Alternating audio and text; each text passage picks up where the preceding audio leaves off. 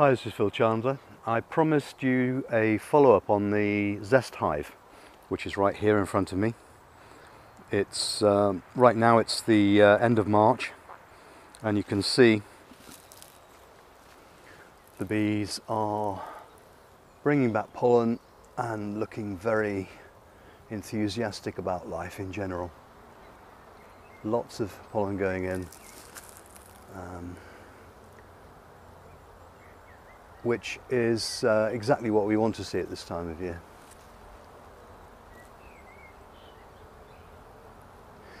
Now you may remember that there are actually two colonies in this hive. Um, we had this colony over here with a high entrance and then this colony here which um, unfortunately died out really before winter um, and I, I, suspect it was because I replaced the queen and uh, quite late on, and I think possibly she wasn't uh, well mated. I think um, the weather wasn't great at the time. I think the queen failed, and that caused this um, this left-hand colony, as it were, to uh, expire. However, the right-hand colony is thriving, and what I, what I in fact did, uh, it was a fairly cold day, I think, back in February um, I came down here, I noticed there was, there was no activity at all in this entrance on the left. So I uh, went in and had a quick look and I could see that this colony was, uh, had, had virtually disappeared. I mean, there, there were almost no bees in the, uh, in the side of the hive at all. And so I removed the central divider and let this colony that you're seeing now flying, um, I let them have the food that the left-hand colony had gathered. So there's a whole load of um, frames with, uh, with honey on. And clearly they've benefited, well, you know, one, one assumes that these, these guys have benefited from the extra food and they're going very well and uh, looking very strong and healthy. And you can see loads of pollen coming in.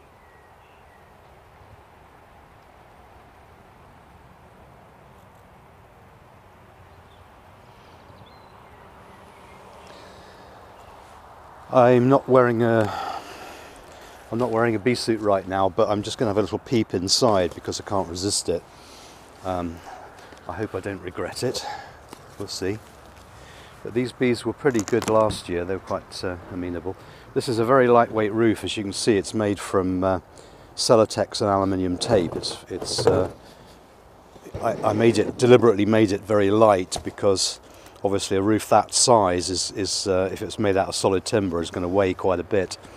And um, so yeah it's lasted you know fine so far. I may have to patch it up here and there but it, yeah, it's okay. The aluminium tapes held up rather well. So um, yeah so it's just held down with a couple of straps because obviously otherwise the uh, the, the wind would blow it away. So I'm just going to peel this side back um, and see what's going on. Okay, so there's bees over here, right at, right at the other end. Um, although you know it's now only one big colony. Um, these guys here um, are uh, on the combs towards this end of the hive, so they've uh, they've clearly ad adopted the uh, these these extra frames. Um, I didn't do a very good job of straightening it when I opened it before, so I'm just going to maybe just tidy up a little bit so they don't get too much brace comb but they look good. Um, quite a motley crew. They're mostly quite dark. There are some stripies amongst them but it's a fairly dark uh, colony. And they had a they had a new queen uh, back last summer. You can see they're, they're, they're not really um, they're not bothered about me being here at all. Now, this is a with the, the arrangement I've got here, uh, which is as you can see, it's uh, this is just um, Reflectix, a sheet of Reflectix, which is laid literally across the tops of the frames. Um, what we're getting here is a build-up of brace comb, which obviously, you know, we don't really want. Um, it's not doing any harm, so you know, I could leave it, but as I'm here, um, I'll just peel that off um, not doesn't seem to be upsetting them at all. So there's a certain amount of propolis you can see along the sides here and um, you may have watched my another of my video, videos when I talked about the possibility of propolis being um, a useful antiviral uh, agent at the moment. So I am actually going to um, grab a knife and I'm going to scrape some of this propolis off because um, well it could be useful shall we say. Uh, I'm planning on experimenting uh, using propolis vapor and I, am planning to use a, a, a standard commercial uh, vaping machine, I don't know what you call it, a vapor I suppose, um, to create a, uh, a propolis vapor, which I could then inhale, or, or, or, not just me, obviously anybody could, could then inhale. Um, here's the colony proper, by the way, they, these guys are, are, really busy here and looking good. Um, none of them are coming out and having, having a go at me, so I'm quite happy about that. Uh, I won't leave them uncovered for any length of time. It's pretty warm today. I mean, it's, not, it's okay. I would guess it's about, I don't know, 12 degrees centigrade, something like that. Don't ask me what that is in Fahrenheit. I don't do Fahrenheit anymore. Gave that up about uh, 30 years ago. So I'm afraid you Americans will have to do your own conversion. Um, I'm just going to peel it away at this end and have a quick look. So there's, there's load. I can see loads of honey in there. There's plenty of stores. These guys have got all the food they could possibly need to sustain them through the remains of this uh, beginning of spring and on into well on into swarm season no doubt if I allow them to uh, to swarm um, I'm not really planning on doing anything much in the way of swarm control in here because they've got so much space they may not feel the need to what I could do, what I may well do, is use this colony as it seems very strong. Um, this colony might make a good candidate for uh, making up splits, so I could maybe take out, you know, two or three frames at a time and make up splits, give them a new queen, and uh, that way I can propagate this um, very uh, amenable little uh, breed of bee. And I can put my you know, they're, they're very uh, non-reactive shall we say. You see they're, they're moving away from my hand rather than sometimes they'll they'll walk onto my fingers but they're not don't seem that keen on doing so but uh, they're not uh, they're not being defensive anyway so that's nice a good quality to have.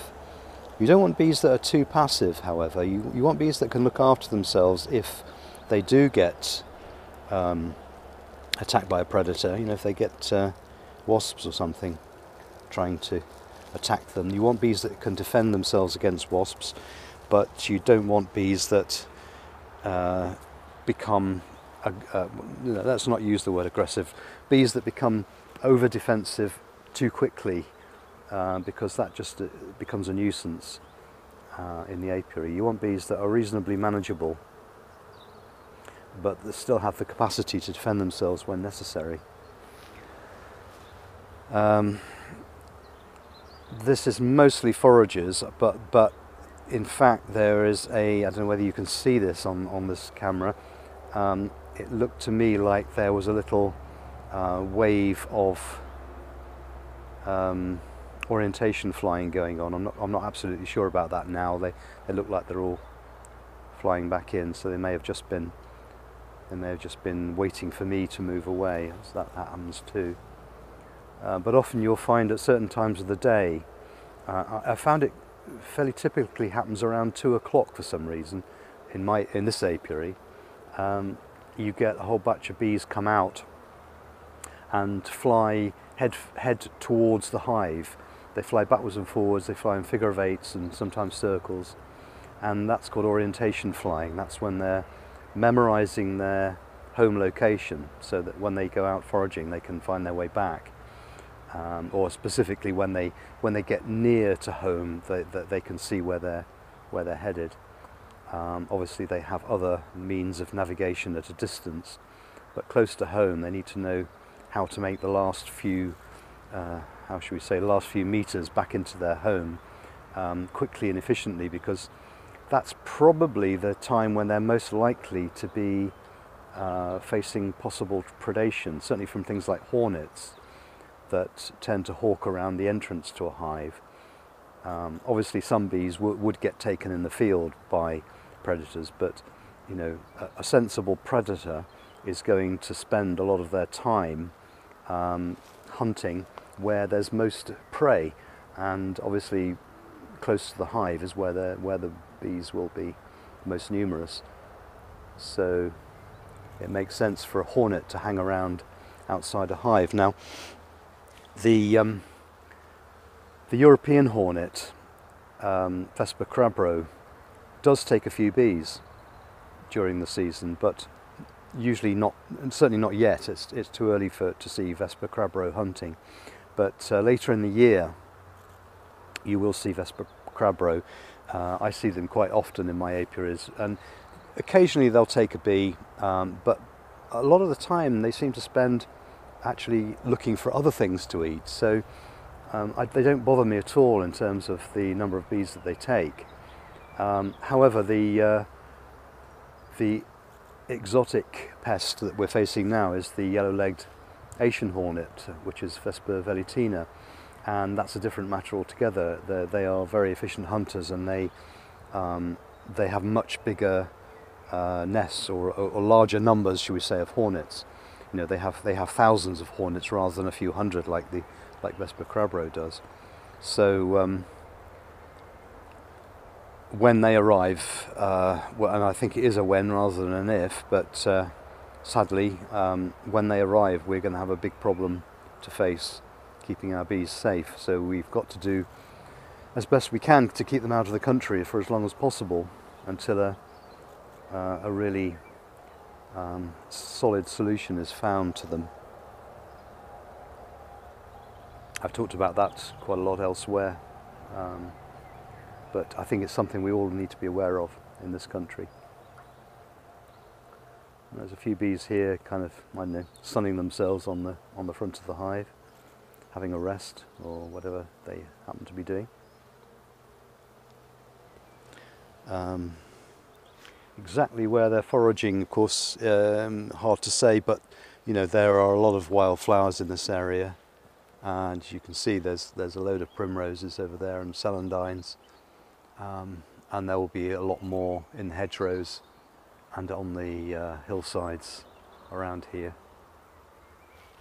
so we are blessed for pollen at this time of year I know um, a lot of uh, people in other parts of this country and certainly in the in parts of the USA um, feel that they need to feed pollen patties in the spring. That's not something I've ever done, and I don't think it's any, it's something that I would ever need to do here. Um, we are we are loaded with early spring pollen. Uh, we've got uh, pollen-bearing trees like willow and hazel, and um, we've got masses of uh, early flowers, and we've got gorse. Uh, you can't see gorse from here, but up on up on the higher ground, there's a lot of gorse. In fact, just across the road, there's a there's a load of gorse, and um, gorse is actually one of the best pollens uh, in terms of its uh, protein content. It's one of the best pollens that bees can take anywhere. So. Um, gorse is a good thing to have. It doesn't produce much in the way of nectar, I'm told, but uh, its pollen is especially rich in protein. So if you've got gorse within reach, then protein is not something you need to worry about. Uh, I'm not sure that gorse grows in the USA. Uh, I think it's a European. It's a plant of the moorlands. It's a acid acid soil, peaty soil, um, alt, high altitude, relatively high altitude um, plant. Uh, actually, thinking about it, I don't think altitude's that big of a deal because um, I know places where it grows where it's not uh, especially high at all, but certainly um, acid soil, just like heather, it grows, it grows with heather in fact, as anyone who's been to Dartmoor will know.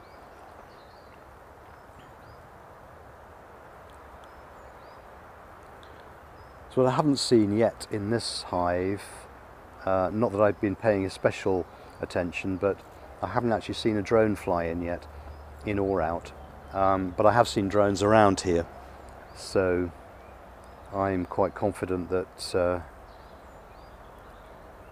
come the time for making splits, which could be quite soon,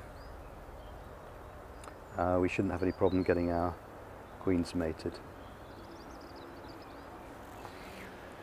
So that's uh, that will do for now. I shall do a proper um, check on this hive fairly soon, maybe next week when it warms up a little bit more, and um, we'll have a good look inside and see what's going on. But for the meantime, these like these guys look like they are going to do well this year.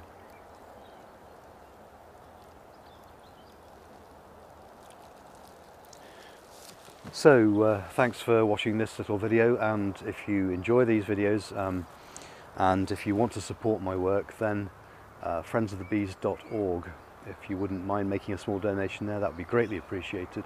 Uh, but if not then please share this video um, click the you know like buttons and make sure you subscribe and click the little bell thing and you'll get advance notice of all my videos.